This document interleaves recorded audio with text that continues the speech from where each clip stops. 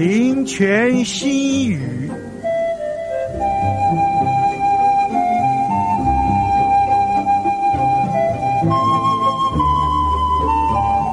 云和主持。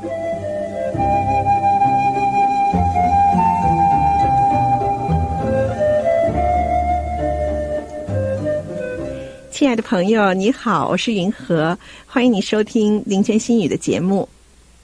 我现在呢，办公室的楼下有一个托儿所，孩子们出来在运动场上游戏的时候，有的高兴的尖叫，有的失望的大哭，真是非常非常的吵闹。按说呢，我在写灵修心得的时候，应该需要很安静才对。可是呀，我却喜欢打开窗户，听听楼下孩子们的喧闹声，总觉得那些小生命是那么的可爱，放开喉咙喊叫的童声是那么的纯真。虽然我自己不能像孩子们一样的大哭大叫，听听心里也是舒坦的。因为最近这两年呢，连续有一些熟人去世，所以就更觉得孩子们朝气蓬勃的生命气息是多么的可贵。前些日子，我听电台采访台湾非常出名的一位作家，那天呢正好是他的生日。这位作家不但学问做得好，而且呀常常出语惊人。在监狱里的时候呢，都仍然保持他一贯尖锐的风格。可是，当电台的主持人问他在六十几岁生日时的愿望时，他说：“希望明天不会比今天更坏。”意思啊，就是年岁不饶人，到了这个年纪，不用指望一天比一天好，下坡路走得不太快，就算不错了。我们以前讲过，人很难为生命中的每件事情来感谢神，尤其是那些让人痛苦的事。在另外一方面呢，人也常常不知道珍惜我们已经得到的神赐下的福气，以至于呢，有时候福气反而成了祸患。比如说吧，长寿是福气，可是也可能就成了祸患。我们中国二十多年前的那位领袖。后人一直在争论他的功与过到底是三七开还是五五开。但是呢，大部分人都同意，如果他早死十年或者是十五年，就会被人民当成圣人来敬仰。可惜啊，他最后做的那件他自以为很了不得的大事，伤害了无数的老百姓，也损伤了他自己伟大英明的形象。我们中国人说。鸟尚且爱惜自己的羽毛，意思啊是微小如鸟，也知道珍惜自己得到的恩赐。人怎么可以不珍惜自己的名誉呢？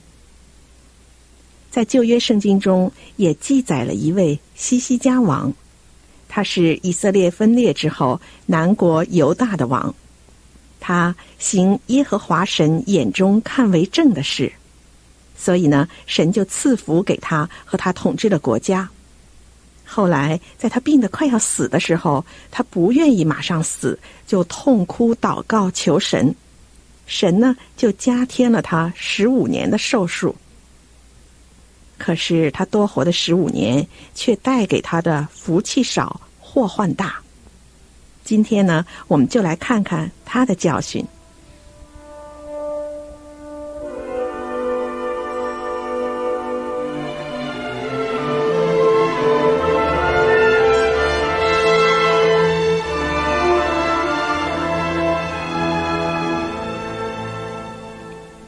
列王记下》第十八章记载，西西家二十五岁登基，在耶路撒冷做王二十九年。他登基的时候，北国以色列已经亡国，亚述王带来的外邦人占领了北国。南国犹大对这件事情应该是极为震惊。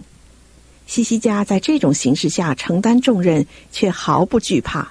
他依靠神，谨守神的诫命。在政治上和灵性上，领导犹大国走上了复兴之路。西西家王是一个杰出的改革家、政治家、军事家和圣徒。他继位之后呢，就废去了秋坛，不但毁坏了那些木偶，连摩西在旷野所造的铜蛇也一起摧毁，一扫拜偶像的歪风。西西家也重新修理圣殿，重新整肃在圣殿侍奉的祭司和立位人的职分，恢复了献祭和颂赞的传统，并且开放了圣殿，让人民进入圣殿祷告和敬拜神。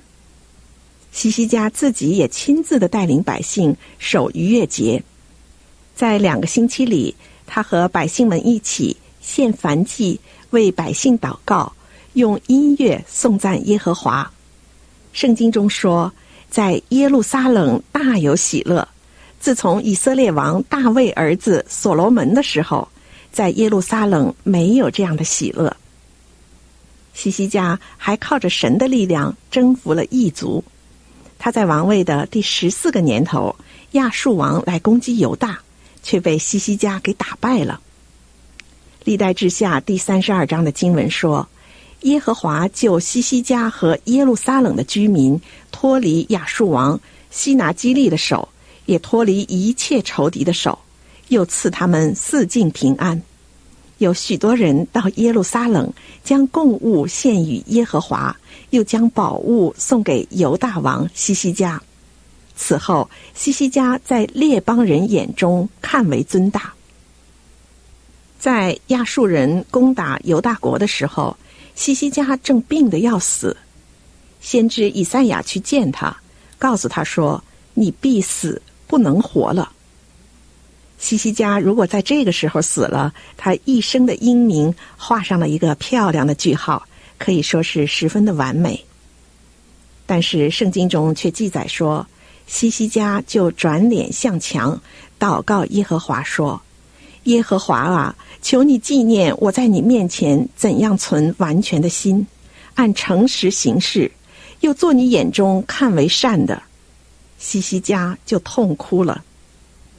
结果呢，以赛亚还没有走到中院，神怜悯的话就临到了以赛亚，让他转回去告诉西西家，神听见了他的祷告，也看见了他的眼泪，并且呢，要增加十五年的寿命给他。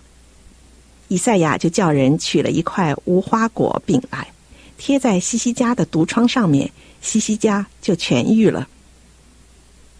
同一件的事情可以蒙福，也可以招祸。西西家的祷告十分的恳切，他的眼泪出自肺腑，所以呢，神被他的真诚感动了。西西家立刻就得到了医治，而且呢，还多得了十五年的寿命。神也应许要帮助他摆脱亚述王的侵扰。西西家一个真挚的祷告得了三个福分。如果他知道珍惜，在十五年的时间里能做多少事啊？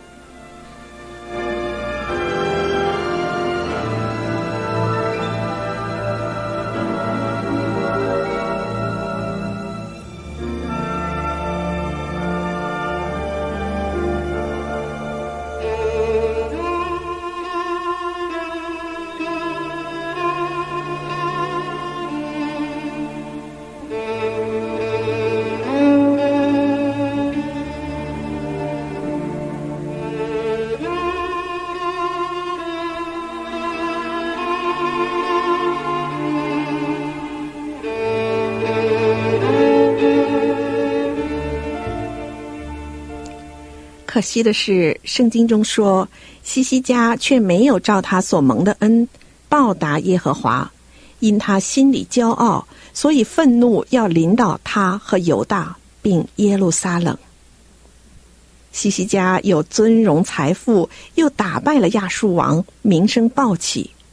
这时候，远方巴比伦王派人来祝贺，送礼物给他，西西家就听从使者的话。就把他宝库的金子、银子、香料、贵重的膏油和他武库的一切军器，并他所有的财宝都给他们看。他家中和他全国之内，西西家没有一样不给他们看的。西西家为什么要把他所有的一切都显示给外国的使者看呢？作为一个英明的君王，怎么可以把国家的底子完全的暴露给外人呢？而且呀，他是听从使者的话，更显出是愚蠢而危险的举动。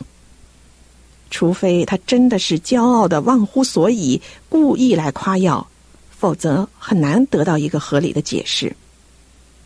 果然，先知以赛亚马上预言：日子必到，凡你家里所有的，并你列祖积蓄到如今的，都要被掳到巴比伦去，不留下一样。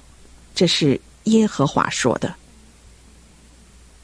西西家在这额外的十五年中，又生了一个儿子马拿西。可能是因为老来得子，又正在得意的时候，所以没有好好的管教。西西家死的时候，马拿西才十二岁。登基之后，就行耶和华眼中看为恶的事，筑丘坛，拜偶像。犹大国自他开始没落，就如先知预言的，走向了亡国、毁城、人民被掳的命运。西西家在犹大国的历史上是一位了不起的君王，他专一的敬拜神，使国家复兴。他诚心的祷告，依靠神，在将死的时候得到神的怜悯。只可惜他不懂得珍惜神赐下的福气，一次的失败招致了亡国之祸。如果他能少活十五年，更能在历史上流芳百世。对照西西家，我们这些小人物，可能大半的时间都在忠心的跟从神。但是，一时的偏离也可能会造成无法挽回的恶果。愿我们都能时刻的记住西西家的教训。